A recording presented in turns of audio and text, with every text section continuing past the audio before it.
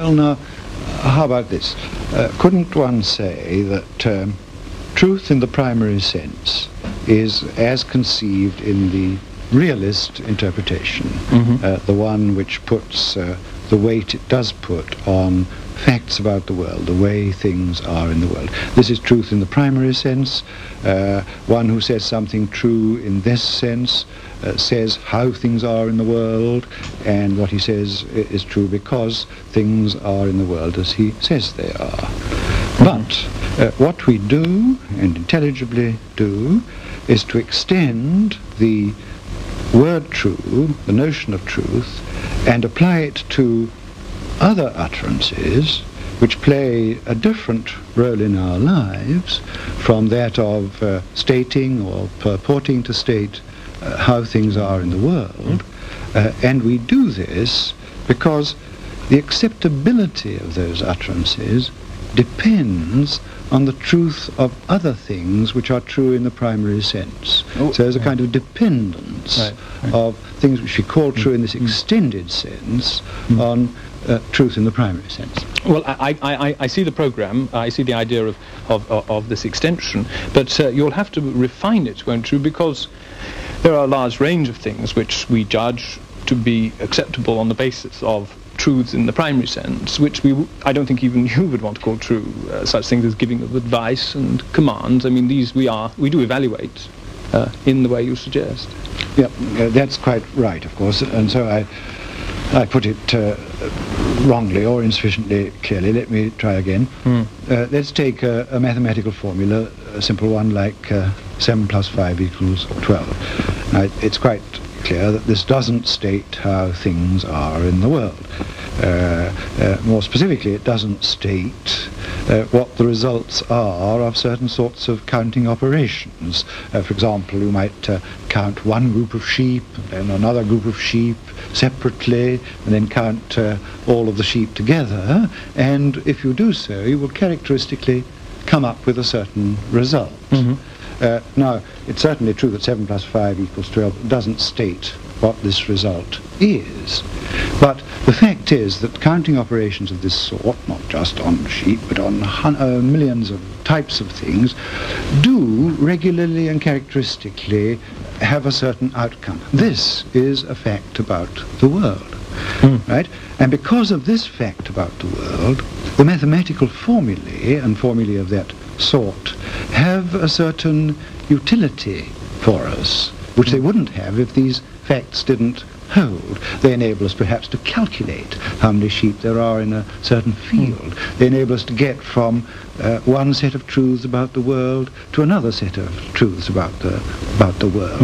And in this way they enter into, are entwined uh, with other elements in our total belief system. I mean, uh, arithmetic, simple arithmetic, cannot by itself uh, tell us, uh, tell me how much uh, money I have in my bank account, but it can certainly help me to work out how much money I've got in my bank account. Sim- simple arithmetic may be. Um, I, I, I- can see that it, this account might work for it, but uh, uh, mathematics can get quite refined. We hear. Uh, we have uh, propositions about the irrational numbers, about non-denumerable infinities, and uh, say in pure logic we have uh, we have propositions such as Gödel's incompleteness theorem. It's, it's, it's very difficult to see how quite these can be regarded as intertwined in that way.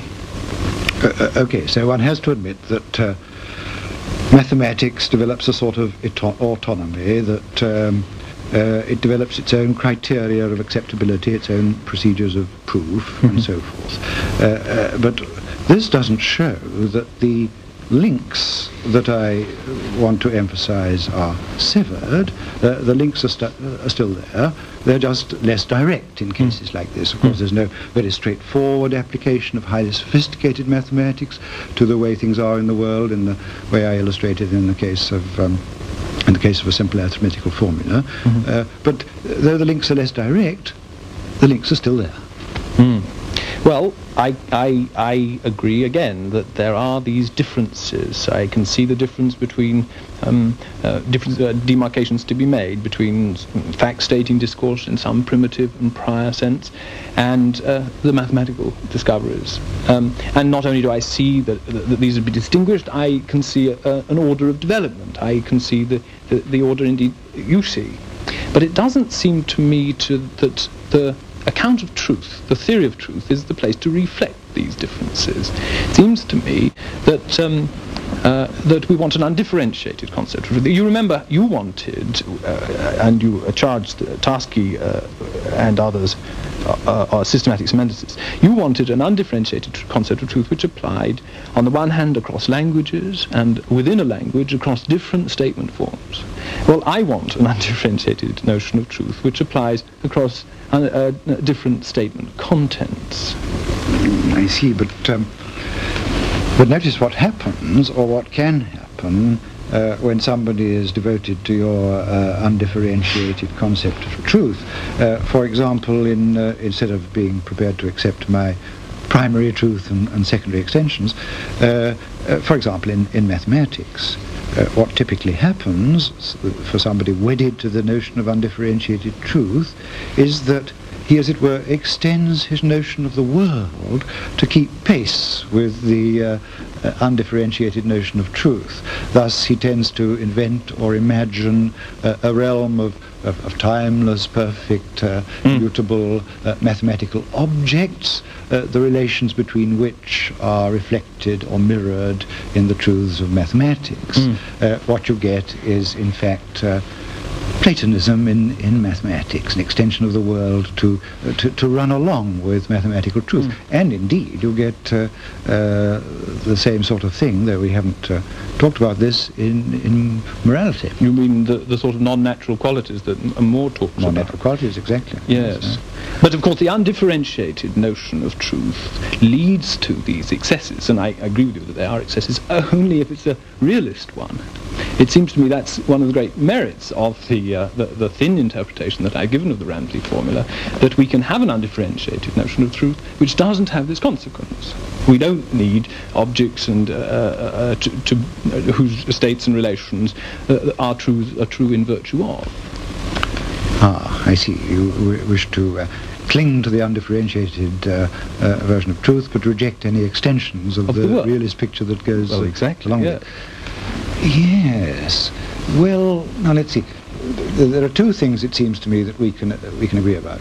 First of all, we can agree about the coverage mm-hmm. of the expression true and of the notion of truth. That's to say, we can agree uh, the word is used and correctly used, not only of the uh, uh, honest to goodness empirical truths which uh, reflect the way things are in the world, but it also has this further extension to cover mathematics, moral judgments, logic, and, and so forth. That we can agree on.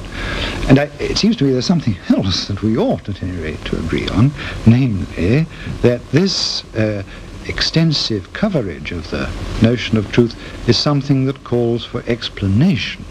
Now, it seems to me that uh, uh, the notion I've, I've sketched uh, at least provides the pattern of an explanation. That's to say, the notion of primary truth, uh, which is a matter of reflecting the way things are in the world, and then an explanation on the basis of this of how we come to extend the notion into these other fields. Here is well, not a full explanation, but at least the, the pattern, the project of an explanation, uh, but uh, doesn't seem to me that you uh, have offered one. No, no, I, I, I, I, haven't, and I'm not in a position to do so. Uh, uh, that's to say, the demarcation of the class of truth-bearing utterances, or truth or falsity bearing utterances. Um, I, I, offer this just, just, just tentatively. I mean, we do uh, the formula itself. He said that P and P does impose a certain grammatical restriction, doesn't it? I mean, we can't get he said that close the door and close the door. Right. And so, I mean, that's going to that's going to right. do some of the work for us. Well, uh, yes, but the work which this uh, grammatical test does is a work of demarcation and not a work of explanation. Incidentally, it doesn't uh, uh, even do the demarcation quite right because we uh, uh there are uh, typically constructions like the future indicative in English, for Mhm. example, which would pass your grammatical test in that sentences in this uh, tense and mood fit in, uh, but sentences in this tense and mood are often used for giving of orders, for example. Uh, What? what? Oh, well, you, you find this in the um, army orders, company orders. A company will parade at 10.30 tomorrow morning. and so on. Uh-huh. This isn't something up for assessment as, uh, as, as true or false. It's not true if they do. No. Well, i- i- as on the board there, it's an order, Right. not a prediction. Uh, uh, so the grammatical test, for one thing, uh, doesn't demarcate quite Mhm, right. mhm, That, that, that seems to be trivial.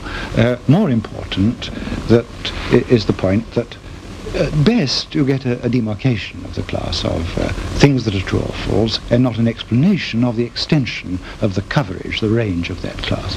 Well, the only deeper uh, suggestion I can make, and I concede that. I mean, in, in a way, one's got, uh, one could put, a, uh, put the point also by saying how difficult it would be to identify the appropriate grammatical forms in a totally alien language, for example. One would have to look at it. Right. Yes, the only no, the only the only uh, suggestion I can make is, uh, and it's a gesture in the direction of belief.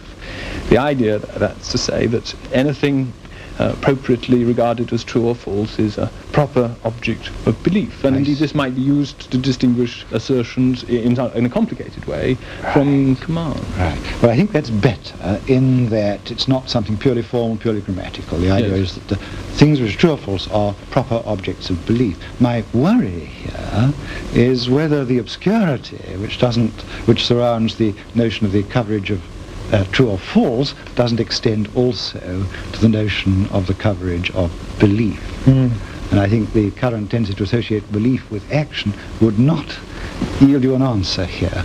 But what would yield you an answer, and probably is something we haven't uh, time, time to discuss.